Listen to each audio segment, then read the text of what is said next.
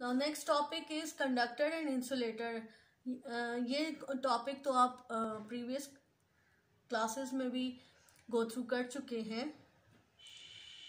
Conductors कौन से होते हैं? Those are passing those are material that allow electric current to flow through them easily. And insulator are material that do not allow an electric current to flow through them right? We can perform uh, activity in the classroom. So we will move to the experiment.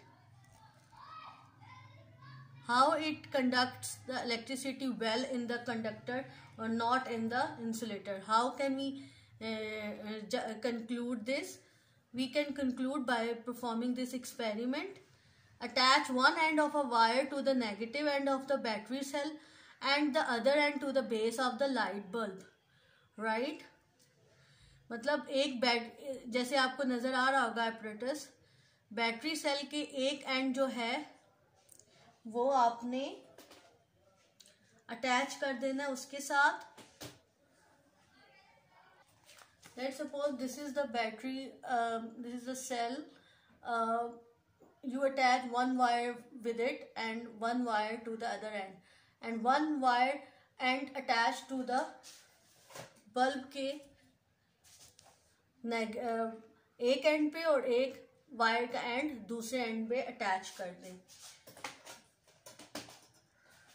Base of the light attach one end of an other wire to the base of the light bulb and leave the other end unattach ठीक है? उसके बाद Attach one end of the last wire to the positive of the battery and leave the other end unattached. Right? Conductor or insulator are different material each time.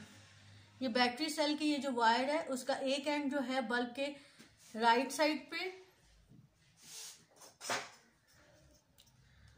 इसकी base पे यहाँ पे attach कर दिया दूसरा जो है कंडक्टर यहाँ पे यूज़ किया गया है ये स्विच होता है जिसके थ्रू इसका एक बैटरी का एक एंड इसके साथ अटैच कर दिया गया और वहाँ से जो वायर है, उसका दूसरा एंड यहाँ पे नेगेटिव टर्मिनल के साथ अटैच कर दिया गया है। मतलब पॉजिटिव इसके साथ नेगेटिव के साथ और ये वाला नेगेटिव इस पॉजिटिव के साथ अटैच कर दिया गया। Then it passes the electricity through this अगर हम इसमें कंडक्टर और insulator different material each time insulator हमने ऊपर कवरिंग के लिए यूज़ किया गया क्योंकि हम अगर होल्ड करेंगे तो इससे आपको करंट लग सकता है. तो it this bulb will glow right you can see this